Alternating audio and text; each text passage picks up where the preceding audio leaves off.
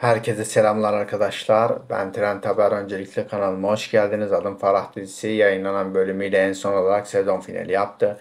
Peki yeni sezonda bizleri neler bekliyor? Tüm detaylar bu videomuzda arkadaşlar. Videomuzu sonuna kadar izleyerek detaylardan haberdar olabilirsiniz. Sizleri daha fazla merakta bırakmadan adım Farah dizisinde yeni sezonda bizleri neler bekliyor analiz videomuza geçelim. Başrollerinde Engin Akyürek, Demet Özdemir'in yer aldığı Adım Farah dizisi yeni bölümleriyle adından söz ettirmeye devam ediyor.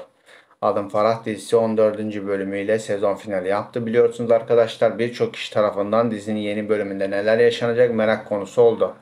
Peki Adım Farah dizisinde yeni sezon bölümünde final bölümünde neler yaşanmıştı?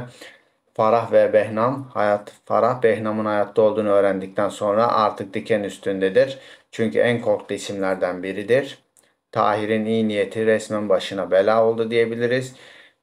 Yaptığı hamleyle İran'da bulunan adeta arının kovanına çomak soktu diyebiliriz. Yeni bir hayat hayali kuran Tahir ile Farah artık kendilerini bir nevi savaşın ortasında bulacaklardır arkadaşlar. Farah'ın yardımıyla eve yerleşilen dinlenme cihazı ise Akkuzu, kara kuzuların buluşmalarını, görüşmelerini artık takip edebilecek olan Mehmet Komiser ve yaşanacaklar bizleri resmen hayrete düşürecektir.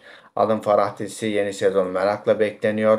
Peki kimler Adım Farah dizisini merakla bekliyor? Yeni sezonu iple çekiyor. Videoyu beğenerek sayımızı gösterebiliriz. Ayrıca bana destek olmak isteyenler kanala abone olarak videoyu beğenerek bana destek olabilirsiniz.